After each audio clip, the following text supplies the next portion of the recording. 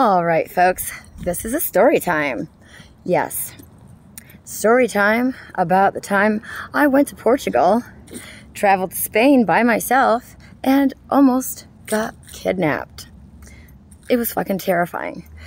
So, I had been asked by my yoga teacher if I would like to accompany her to do an Envision Yoga teacher training, which I was already certified uh, in that specific training. Plus, I believe at that point I had already had my 200 hour and my first 300 hour. Yes, I have a 200, a 300, and another 300, along with many other yoga certifications. Anyway, moving on. So we go there, everything's great, and the hotel, the yoga studio, everything was super, super duper close, and it was really cute and pleasant. Um, but every single day, I would look across the river and I would see Spain. There's our bikes. Right over there is the studio, yoga studio. And then just take a little walk with me. And guess where the hotel is? Bum ba da. Right there. See? Up in there, above the window with the light on, is my little balcony. Super close, right? And then down there, you can't really see it, but the little blue light that's shining down there, that's where the river is.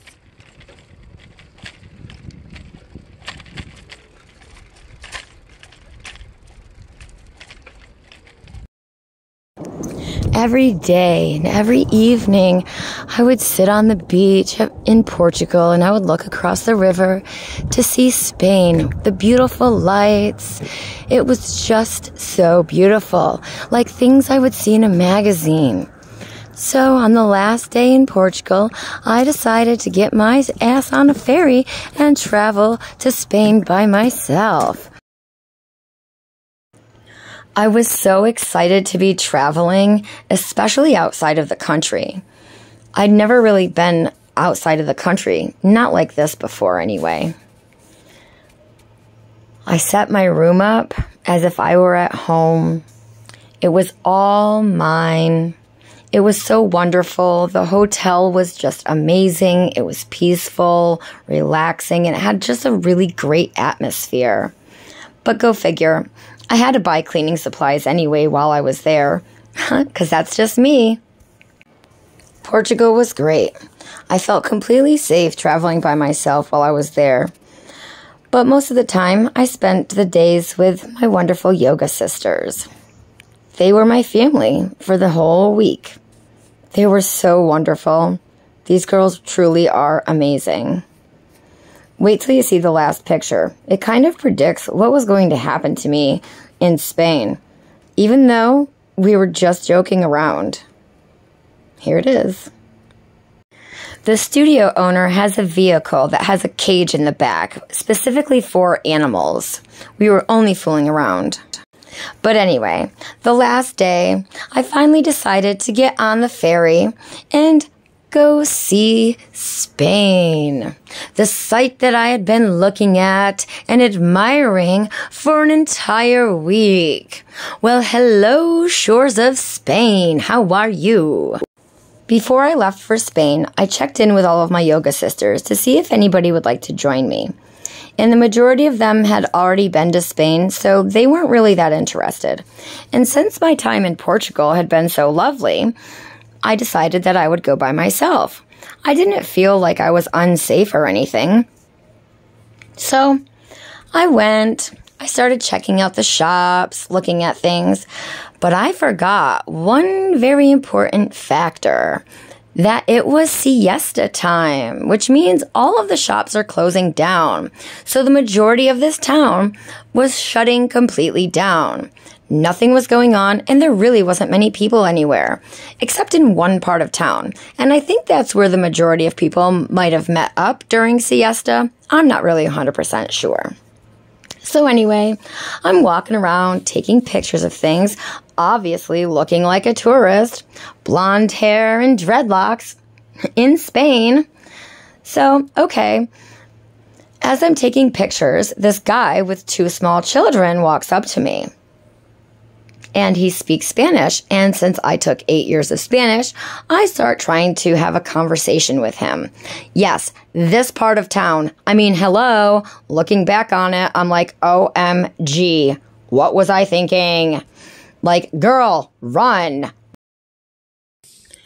So, of course, because this guy has two small kids with him, I wasn't threatened, right?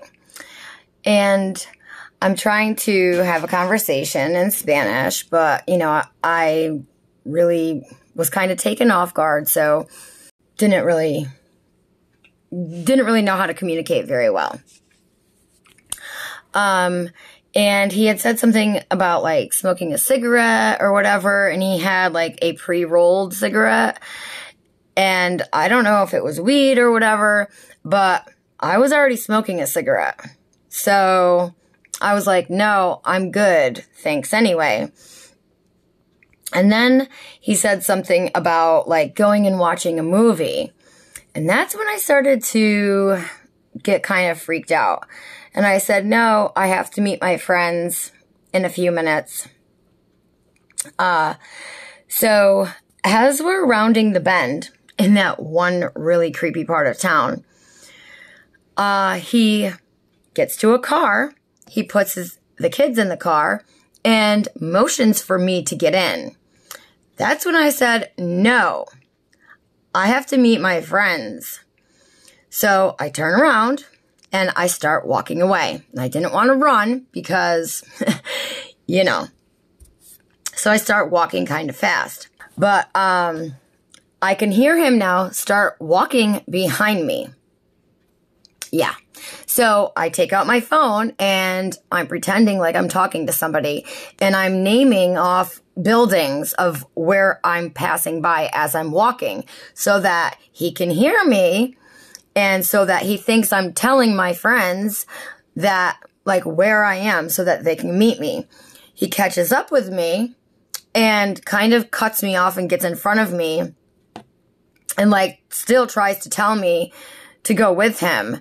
And I'm like, no. So at this point, there was a person standing in a doorway. Thank God. Uh, so I say no. I hurry up. I walk away. I turn down an alleyway. Luckily, I ran into somebody who speaks English. And I said, what is the fastest way to get back to the ferry? She tells me, okay, I fucking run my ass off to get to the fucking ferry station. And of course, well, guess what? It's fucking siesta. Oh my God. So nobody is around. And at first, I couldn't even find the, the fucking ticket booth, okay? Cause I'm in a panic, right? I am like, oh my God, this guy's trying to fucking kidnap me. So, as I'm like searching this huge parking lot looking for the ferry ticket booth, this old couple, uh, comes riding on their bicycles. I say, excuse me, please stop, please stop. And as they stop, I hear a car pulling up behind me. Now, in order for this guy to get there that fast by vehicle, he must have fucking been driving extremely fast. So anyway, I say to them, I'm like, please, please, please don't leave me. And then I asked them, is there a man in that car with two small children? And the gentleman said, yes. Why don't you want to go with him? And I said, because I don't know him. Please don't leave me. And at this point now, I'm fucking hysterical, crying because I knew that he followed me there. And it's siesta time. He knows this. So he knows that there's not going to be anybody around, right? So he could just fucking snag me, right? So they walk me to the ferry place. Of course, nobody's there. So I have to wait inside, right? The whole building, the waiting booth area, is completely made of glass. Where am I going to hide in there? He could drive by and just see me. So I have to hide crouched down behind a fucking chair until the ticket teller gets back from break. And then when she gets back, I'm trying to communicate with her what's going on. And because I'm so frazzled, I forgot how to fucking speak Spanish. Yeah, well, thank God for Google, though. 911 is not 911 in other countries. I didn't even try to dial it because I knew that wasn't the case. And yeah. Mm-hmm. Terrifying. Fucking terrifying. When this guy made contact originally, he motioned for me, like, to follow him. And because I was taking pictures of, like, the church and, you know, all of the beautiful artwork really on the buildings, I assumed that he was being like, hey, you know, follow me real quick. I want to, I'll show you something else that's cool that you can take pictures of. That's what I thought. Well, uh, obviously I was very fucking wrong, but yeah. oh my goodness uh, like, obviously these people will use children, coax you in, right? Because obviously, if it's just a single dude, that's going to be more of a red flag than if it's a guy with two small children, one little girl and one little boy. And I'm guessing the kids were probably between the ages of like five and eight, maybe. And I tried to conversate with the little girl a little bit, but she was pretty quiet. And it was kind of hard for me to understand. So I don't actually think that he was even from Spain. I think that he was from someplace else um, and spoke some Spanish because typically, even though I may not be able to speak Spanish fluently, when I hear it and when I read it, I'm able to understand it pretty quickly but I had a pretty hard time understanding things that this guy was saying. So I don't even think that he was actually from Spain. I don't think that he was Spanish. Uh, yeah.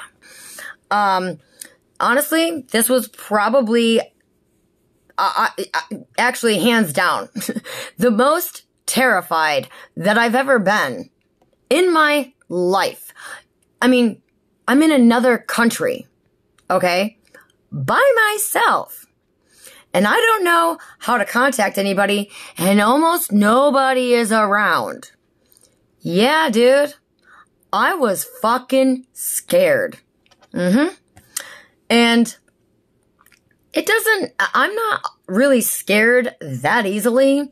Kind of takes quite a bit to fucking scare me. Uh, but yeah, I was terrified. Hands down, I ain't gonna lie. Like, yeah, I was crying. Yeah, really just wanted to go home. So, hopefully, anybody might learn from my mistakes and either don't travel alone or if you are going to travel alone, make sure you know how to contact 911 in another country and make sure that you can speak some of the language at least so that you can ask for help or make sure you have Google Maps handy, make sure you have fucking cell phone service. Like, yeah.